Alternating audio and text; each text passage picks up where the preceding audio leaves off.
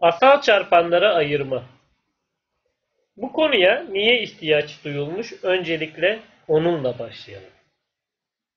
Asal sayıların ne olduğunu konuşmuştuk daha öncesinde. Yavaş yavaş bahsedeceğimiz noktaya gelelim. Asal sayılar 2, 3, 5, 7, 11, nokta nokta, bir ve kendisinden başka böleni olmayan pozitif tam sayılara denir. Asal sayılar bunlardır. Ve matematikteki en önemli keşiflerden birisi her pozitif tam sayı istisnasız bu şekilde gerçekleşir. Tabii ki istisna var. Bir hariç her pozitif tam sayı bunu buraya yazayım. Mutlaka birileri alta sonra laf söyler yorumlarda. Her pozitif tam sayı bir hariç asal çarpanlarının üslerinin çarpımı biçiminde ifade edilebilir.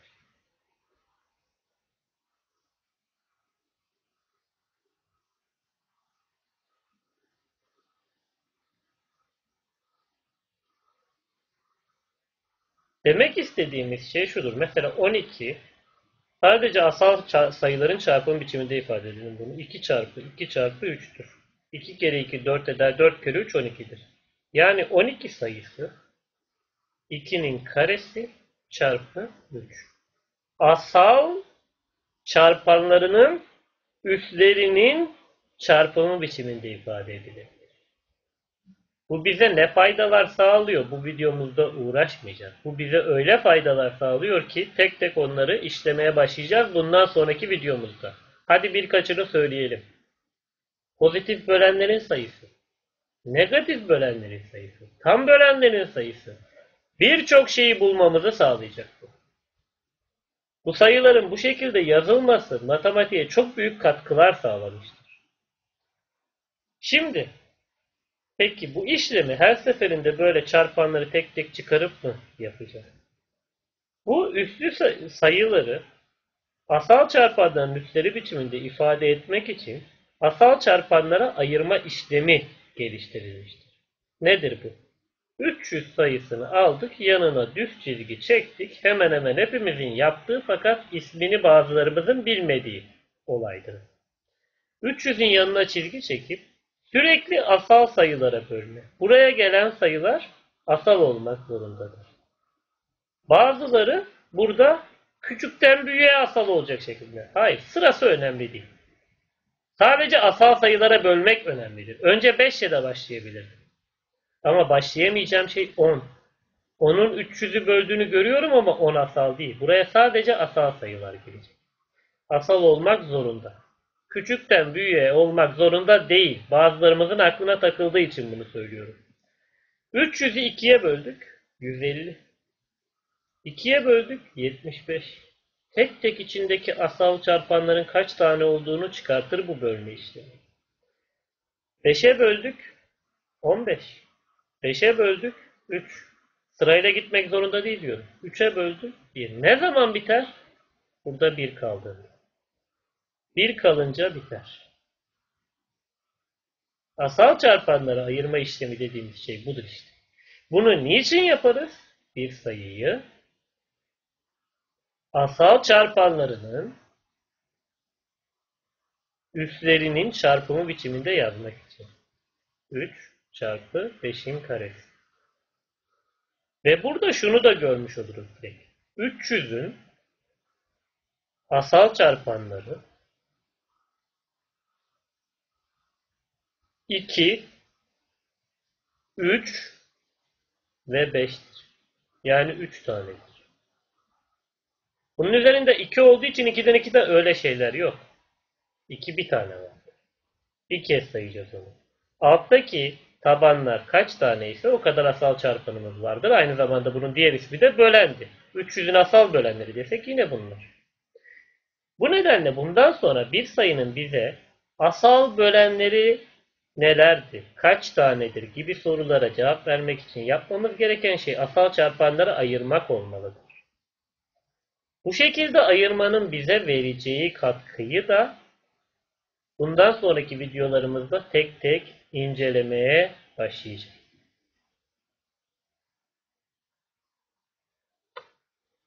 Bir örnek daha yapalım. Sorumuz şu.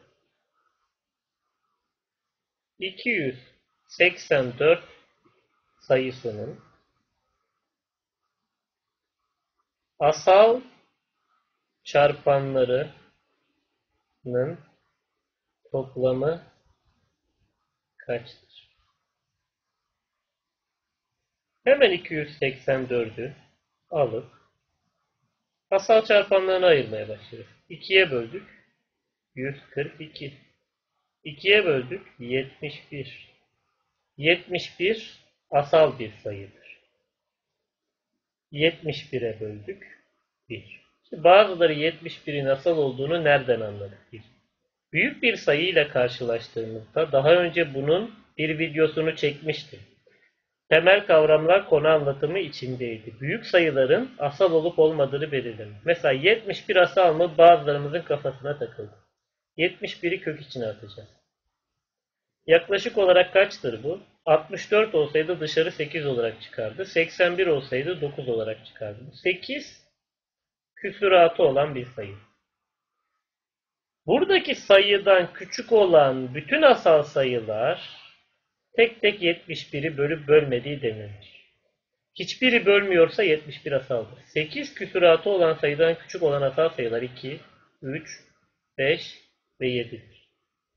71 bölü 2 tam çıkmaz. Çünkü çift sayılar tek sayıları tam bölmez.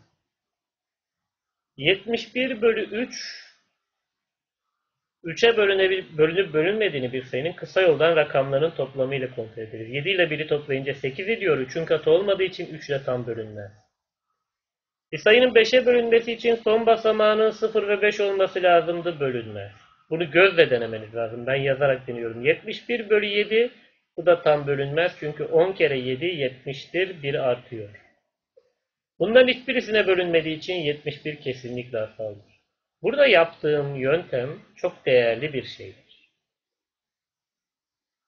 71'in asal olduğunu ispatlamış oldum şu an. 71 asal olduğuna göre 284 eşittir 2'nin karesi çarpı 71. 284'ün asal bölenleri veya asal çarpanları 2 ve 71'dir. Bunların toplamı istenmiş birden. 2 ile 71'i toplarsak 73 sonucunu buluruz. Bir soru daha.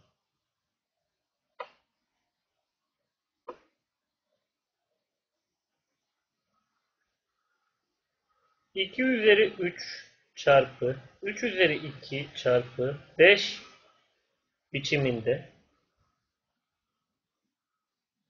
asal çarpanlarına ayrılmış sayı kaçtır?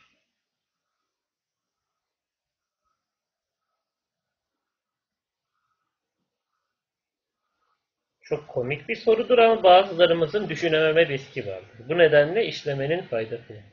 E bunları hesaplayıp çarptığınızda çıkan sayı kaçsa bu şekilde asal çarpanlarına ayrılmış sayı budur. 2'nin kübü 8, 3'ün karesi 9 çarpı 5. Önce 5 ile 8'i çarpmakta fayda var. 5 kere 8 40, sonra da 9 ile çarparsak 360 olarak bu sayıyı buluruz. Bize asal çarpanlarına ayrılış biçimini verip de bu sayı kaçtır derse bunları hesaplayıp çarparız. Yapacağımız şey budur. Son bir asal çarpanlara ayırma işlemi daha yapıp videomuzu noktalayalım. Ne diyelim? 96 sayısının en büyük asal çarpanı kaçtır?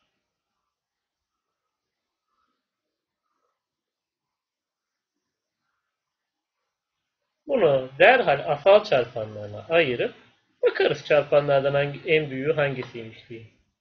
Başlayalım. 96